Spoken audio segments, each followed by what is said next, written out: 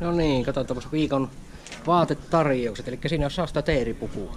Takki ja housut. Ja tota, koko pupu oikein hinta on 448.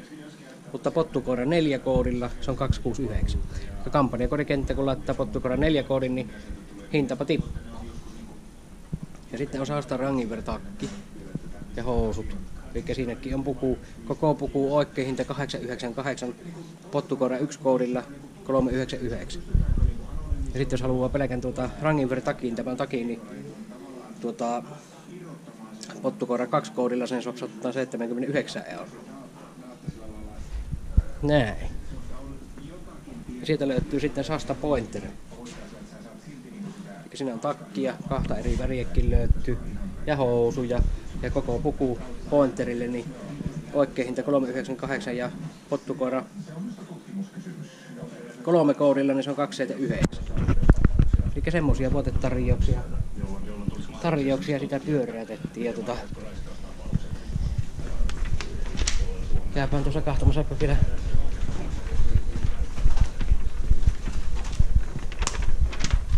vielä kahtomassa tuossa niin vähän jikihommia. Mitä jikejä meillä siellä oli. Mutta uutta, uutta settiä, jikisettiä tullut. Ja tämä pitäisi löytyä jo verkosta. Verkosta, eli siinä on nyt kuhalle kunnon tehosetti ja sieltä löytyy Mikadon furiot.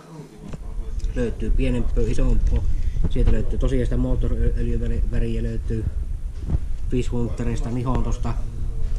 Sitä violetin säkyä löytyy. Ihan niinku kaikki kuha otti värit tällä hetkellä ja tota, myöhempikin kaaveli. Eli tämä löytyy verkosta, laitetaan se, video. Ja sitten tullaan myöhemmin vielä tämmöiset setit, eli vertikalisetti. Tämä on kasattu irtojikeensä, mikä meillä on. Vertikaalien rapsottaaksi.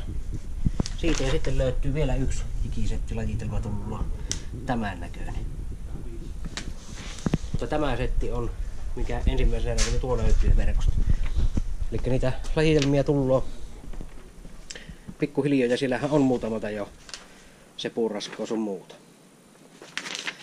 Huh.